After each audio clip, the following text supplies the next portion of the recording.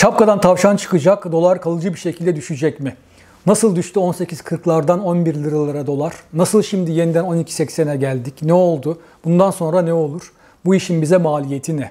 Kafalarda dün akşamdan beri delice sorular var biliyorum. Bu nedenle günün ortasında yayınlıyorum bu videoyu. Normalde hep akşamları 20.30'da yayınlıyorum biliyorsunuz ama bugün olağanüstü bir gün, tarihi bir gün. En uzun gün, son dönemin en uzun günü dün akşam başladı 8.30'da Erdoğan ekranlara çıktı ve kurtarma paketini açıkladı. Neden kurtarma paketi diyorum? E çünkü Türkiye ekonomisi uçurumun kenarına gelmişti. 18.40'a çıkmıştı dolar, 20 TL'ye gidiyordu. Açıklanan paket bir anda düşmesine neden oldu dolar TL kurunun. Çünkü Türkiye Cumhuriyeti Devleti hazinesi bütün vatandaşlarına kur garantisi verdi. Ne demek bu? TL mevduata kur garantisi. Bankada TL mevduatınız var, paranız var Türk lirası cinsinden. Belli bir vadede faiz geliri elde ediyorsunuz ama aynı vadede dövizin getirisi sizin faiz gelirinizden daha fazla. Aradaki farkı Türkiye Cumhuriyeti hazinesi size toka edecek, verecek. Ekonomi yönetiminin beklentisi böylece dolara, euroya, altına kaçmanıza gerek kalmayacak enflasyondan korunmak için. Türk lirasında kalacaksınız. Bu şekilde Türk lirası değer kazanacak. Kısa vadede evet zaten oldu, zaten düştü.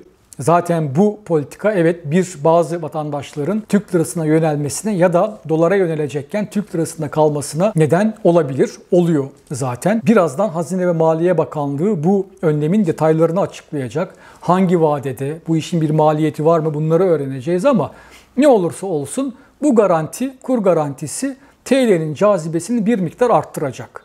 Ama orta vadede Türk lirasının kalıcı bir şekilde değer kazanmasını sağlayamayacak.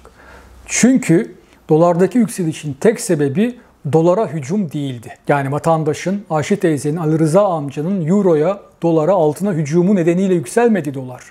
TL bu yüzden değer kaybetmedi sadece. Bir temelde yatan başka bir problem var. Makroekonomik problem. O da enflasyon. Türkiye'nin hiper enflasyonu var. Resmi enflasyon %21'in üzerinde, gayri resmi enflasyon %50'nin üzerinde. Resmi enflasyon %30-40'a çıkacak, gayri resmi enflasyon %100'e gidecek. Enflasyon bir ülkenin ulusal parasının değer yitirmesinin temel nedenlerinden biridir. Bir ülkenin enflasyonuyla o ülkenin ticaret ortaklarının enflasyonu arasındaki fark kadar ulusal para birimi değer yitirir. Türkiye'nin enflasyonuyla bizim ticaret ortaklarımızın enflasyonu arasında çok büyük bir fark var. Bu gerçek orta yerde dururken ve iktidar ekonomi yönetimi enflasyonla mücadele etmek için ciddi bir adım atmazken tam tersine enflasyonu azdırıcı adımlar atarken mesela yeni kredi paketleri açarken, yeni kredi paketleri açmaya hazırlanırken, kamu bankalarına daha fazla kredi dağıtsınlar diye sermaye koymaya hazırlanırken enflasyonda kalıcı bir düşüş beklemek hayalcilik, hayalperestlik olur. Enflasyonda kalıcı bir düşüş görmeden de dolarda kalıcı bir düşüş beklemek o da hayalcilik olur. Üstelik unutmayalım ki bu açıklanan önlem yani Türk lirası mevduata kur garantisi hazinenin üzerinde çok büyük bir yük yaratacak, oluşturacak önümüzdeki dönemde. Çünkü o parayı yani vatandaşlara toka edeceği parayı hazine ya para basacak ya vergi gelir vergilerini arttıracak bir yerden bulacak. E para basarsa enflasyon artacak. Çünkü hani para artınca enflasyon da yükselecek. Daha da fazla yükselecek. Yani uygulanan politikanın enflasyonu azdırıcı bir yanı da var. Her durumda fakat bu işin maliyeti yani bankalarda Türk lirası mevduat tutanların döviz kurundaki yükseliş kadar elde edecekleri getirdiğin maliyetini biz ödeyeceğiz. Yani sizin, benim bankada Türk lirası mevduatımız olmasa bile TL mevduatı olanların elde edeceği garantiyi biz kendi vergilerimizle önümüzdeki dönemde finanse edeceğiz. Bunun böyle gelir adaletini bozucu bir yanı da var. Ama evet kısa vadede tekrar altını çizelim. Bu politika talebi biraz baskıladığı için, baskılayacağı için önümüzdeki dönemde dolar TL'deki o ateşin bir miktar soğutacak. Onu biraz hafifletecek. Altındaki kor biraz daha soğuyacak ama sönmeyecek. Dün Erdoğan açıkladığı paketin başka maddeleri de var. Onları da görelim hızlıca. İhracatçılara ileri vadeli kur garantisi sunuldu. Bu da önemli. İhracatçı şirketler belli bir vadeden kuru, doları belli bir seviyeden alma imkanına kavuşuyorlar. Yani böylece ileri vadeli fiyatlama yapabilecekler yeniden. Şu anda problem oydu. Fiyatlama yapamıyorlardı. Çünkü 6 ay sonra 20 lira mı olacak, 30 lira mı olacak dolar TL. Dün öyle bir pozisyondaydık. O nedenle önlerini göremiyordu ihracatçı şirketler.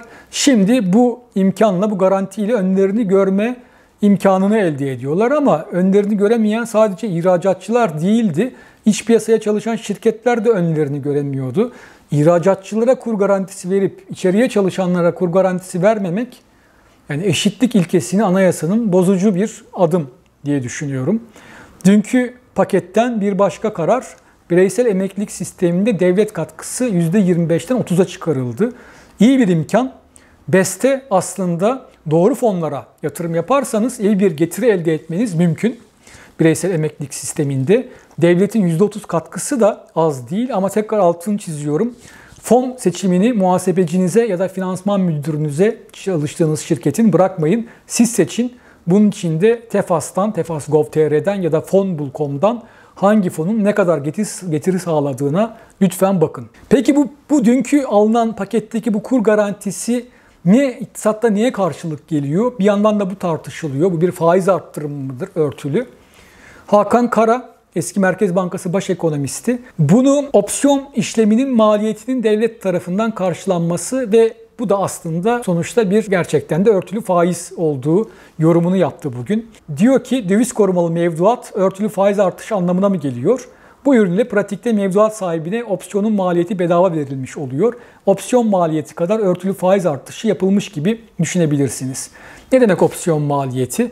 Şu demek gerçekten de bu TL mevduata kur garantisi aslında bir tür opsiyon, bir kol opsiyonu. Kol opsiyonu ne demek? Bir finans terimi. Alım seçeneği, opsiyon seçenek demek biliyorsunuz. Belli bir seviyeden bir enstrümanı alma seçeneği. Ama finans piyasasında bunun bir maliyeti vardır. Yani kendinizi gelecekteki dalgalanmalardan korunmak için call option aldığınızda buna karşılık bir ödeme yaparsınız. Bir kesinti yapılır. Şimdi Türkiye Cumhuriyeti Hazinesi bunu bila bedel yani hiçbir maliyet olmadan bütün vatandaşlarına bedavadan bu imkanı, opsiyon imkanını sunuyor. Borsa tarafında tabii ki sert vurdu dünkü kararlar.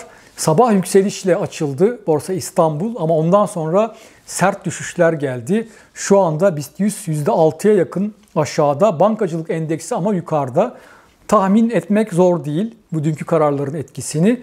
Bankalar hazine elinden aslında müşteri kazanacaklar şimdi.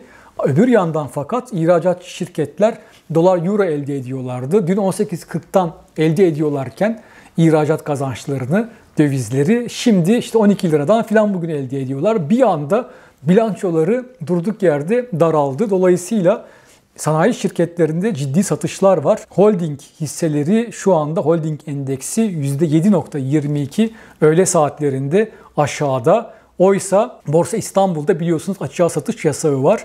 Dün getirildi BIST 50 hisselerinde yukarı adım kuralı uygulanıyor. Son işlem fiyatının üzerinden açığa satış yapılabiliyor. Dün vardı. Bugün de uygulama sürüyor. Son olarak Cumhurbaşkanı Erdoğan'ın dün açıkladığı paketin otomobil fiyatlarına olası etkisine bakalım. Konut tarafı da elbette mutlaka merak ediliyor. Bu dünkü kararlar nasıl etkiler konut fiyatlarına? Onu ayrı bir videoya bırakalım. Otomobil fiyatlarını bu kanalda zaman zaman görüşlerini aldığım Hüsamettin Yalçın'a bir veri şirketi olan Kardata'nın genel müdürüne sordum. Dedi ki bugün itibariyle bekleme moduna girdi ikinci el piyasası. Birinci el tarafında fiyatlar şimdi güncellenecek. İkinci el tarafında doların 11-12 civarında sabit kalıp kalmayacağı önümüzdeki 20 gün boyunca gözlenecek. Hüsamettin Yalçın ve oralarda bir denge kazanırsa ikinci el fiyatları düşüşe geçecek. Bu arada bugün bilinmeden geçilmemesi gereken bir ekonomide gelişme emlak vergisine %18.1, MTV'ye motorlu taşıtlar vergisine %25 oranında yapılan zam. Evet, tarihi olağanüstü bir gün, nefes kesici bir gün. Bugün o nedenle öğle saatlerinde bu videoyu yayınlıyorum. Yarın 20.30'da her gün olduğu gibi devam edeceğiz.